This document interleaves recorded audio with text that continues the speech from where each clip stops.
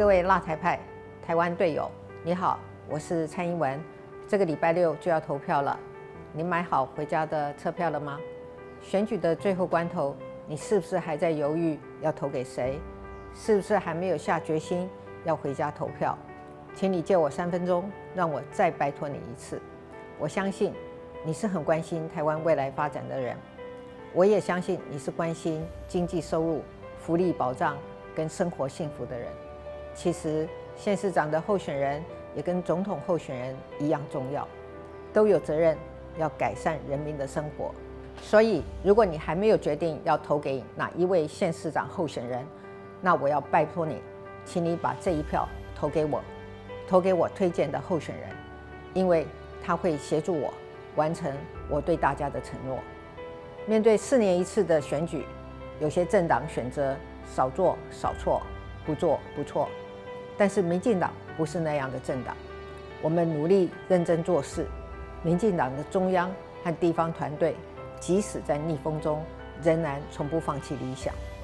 只有民进党到最后一刻还在谈政见，只有民进党到选战最后关头还在关心国家重要产业的发展。所以这次选举一样很关键。我要拜托你这一票投给民进党现市首长，就是投给蔡英文，让我在剩下的任期可以更有力量完成我对你的承诺。如果你是总统大选曾经投给我的人，面对后疫情时代的挑战、经济发展与台湾对外情势的挑战，请你借我力量，支持我推荐的候选人，让我们可以完成更多的建设与福利。回家一趟不容易，谢谢你上次选择蔡英文，相信我能够顾好台湾。我也很认真、负责的让台湾在国际上站稳脚步。也致力于维持台海的和平稳定。这次更不只是一次地方选举，也会决定我们要向世界传递什么样的讯息。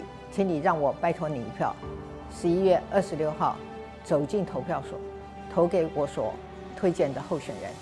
拜托大家一起为台湾挺身而出，团结催票拉票。谢谢大家。